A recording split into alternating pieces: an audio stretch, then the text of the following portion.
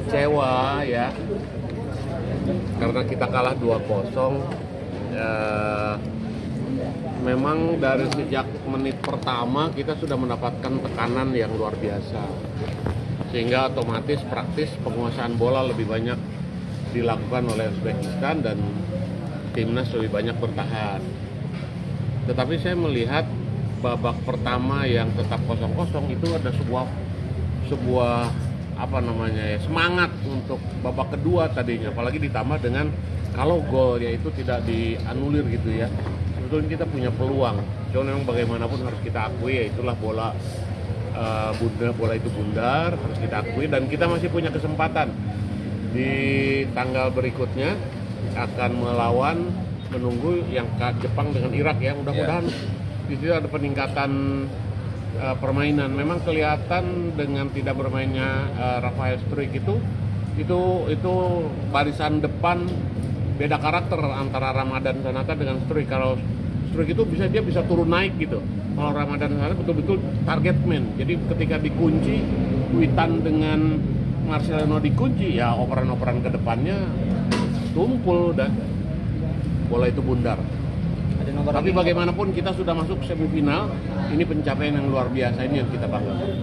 Pak, final ketiga dan juara ketiga apakah akan digelar nobar lagi, Pak?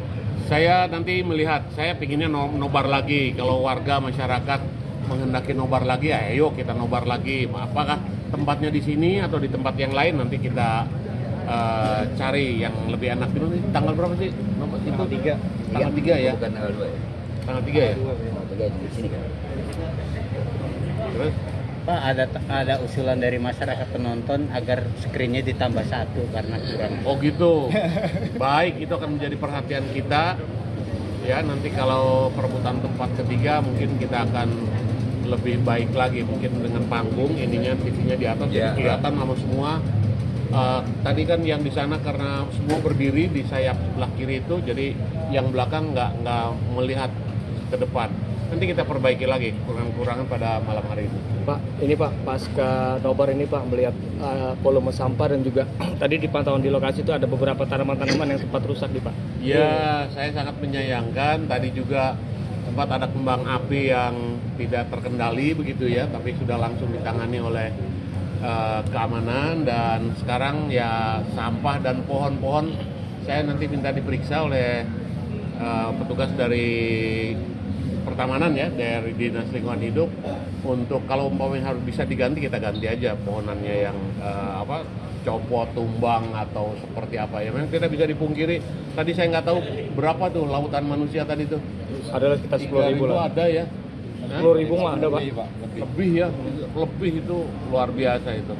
Jadi kalau ada kerusakan pohon satu dua ya kami dapat maklumi lah karena pergerakan orang begitu sangat padat. Oh, mungkin ada rencana penataan parkir motor di sana Pak? Ya lahannya segini-gininya kalau di sini ya, kalau di Pamulang ya.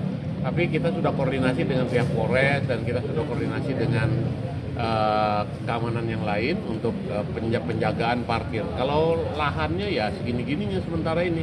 Makanya nanti kalau umpamanya ada nobar lagi, tadinya kalau semifinal kita akan bikin 10.000 kalau perlu penontonnya di lapangan Sunburst atau di ya di Sunburst yang paling luas tadinya seperti begitu.